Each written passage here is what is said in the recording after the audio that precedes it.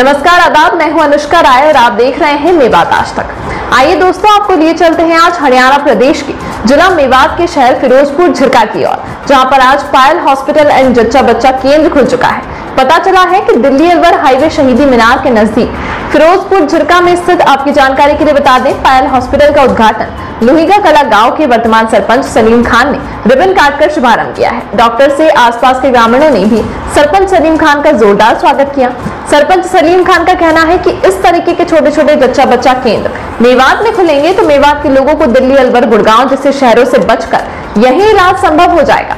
इस मौके पर डॉक्टर वीर सिंह ने कहा कि यहाँ पर कम पैसों में बेहतरीन से बेहतरीन इलाज किया जाता है और जच्चा बच्चा के लिए सभी प्रकार की सुविधा उपलब्ध है। यहाँ पर डॉक्टर्स का टोटल स्टाफ 11 लोगों का है, जिनमें चार फीमेल नर्स काम करती हैं और वहीं 10 बेड का भी इंतज़ाम किया गया है। तो बेहतर होगा कि अपने महिला पेशेंट को पायल हॉस्पिटल में ही ले जाने की कोशिश करें।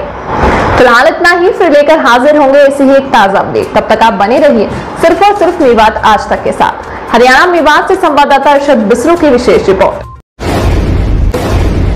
अच्छा को बुराक सर तो सर आपके आसपास जैसे पुनहाना सिटी है हतीन है आपने उनको छोड़कर ये फिरोजपुरी क्यों चुना था? नहीं मेवात के लिए चुना था कि मेवात यहाँ ज़्यादा पड़ता है इसीलिए। अच्छा। तो आप उन लोगों के लिए क्या कहना चाहते हो? जो बीमार हैं और वो बड़ी बड़ी हॉस्पिटल में अपना इलाज नहीं करा पाते हैं ऐसे लोगों के लिए क्या कहना चाहते हो? और ये कहना चाह रहा हूँ कि जैसे भी जो भी मरीज़ है जिसका बड़े हॉस्पिटल में इलाज नहीं हो पाता वो यहाँ आए और कम से कम पैसों में सस्ता इलाज और बढ़िया फैसिलिटी के साथ यहाँ जाए।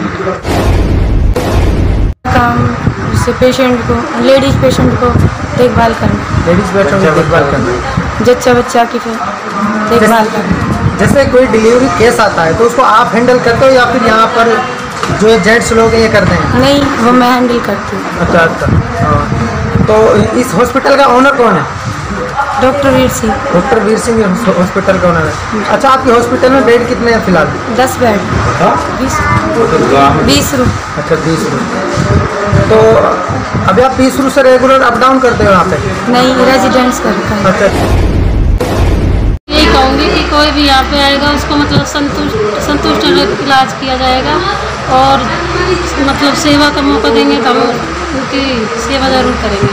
मतलब बढ़िया हॉस्पिटल है और बढ़िया देखभाल करते हैं जी। आपका गाँव कौन सा है? मेरा गाँव नहर है। नहदा से यहाँ पर आए हो? हाँ जी। दोस्तों, यदि आप हमारी इस वीडियो को फेसबुक पेज पर देख रहे हैं तो हमारे पेज को लाइक कीजिए शेयर कीजिए। यदि इस वीडियो को यूट्यूब पर देख रहे हैं तो हमारे चैनल को सब्सक्राइब कीजिए और बेल आइकन घंटी को दबा दीजिए। दोस्तों, यदि आपको लगता है कि हम समाज के लिए बेहतर काम कर रहे हैं तो आप हमारे चैनल की मदद कीजिए। तो फ़िलहाल इतना ही। फिर लेकर हाजिर होंगे देश और दुनिया से जुड़ी ताज़ा तरीन खबरें। तब तक आप बने रहिए सिर्फ़ और सिर्फ़ मेवात आज तक के साथ।